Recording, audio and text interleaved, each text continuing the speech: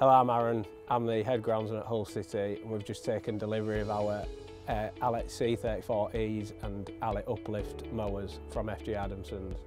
So we decided to make the switch from petrol to uh, battery to be more sustainable and more green.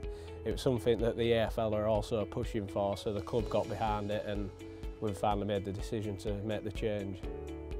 Yeah, the, the benefits are obviously there's less fuel pollution, less noise pollution, so uh, after a game, for instance, if there is any interviews, we can come on and get straight onto the pitch without being told to stop, obviously with no noise. Um, it's also better welfare for the operator. Uh, there's less vibration, less noise. So all in all, it's, it's the right decision. Yeah, so we've been probably looking into this in the last couple of years and the club have got on board to, with well, with help from the EFL wanting to become more sustainable. So yeah, it's been across the last couple of years or so. Yeah, obviously uh, climate change is a, a major thing in, in everywhere at the minute in life. So I think if the club can do their bit to, to help that, um, not, not just from a grounds point of view, they're trying to become greener on everything they do from waste management and, and other aspects of the stadium. So I think this is just a little a little mark of what we can do from out from our job's point of view.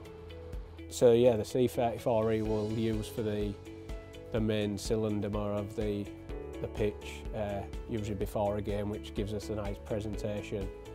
Uh, the feature on that I like is that you can change the the cartridges to do different processes on the pitch.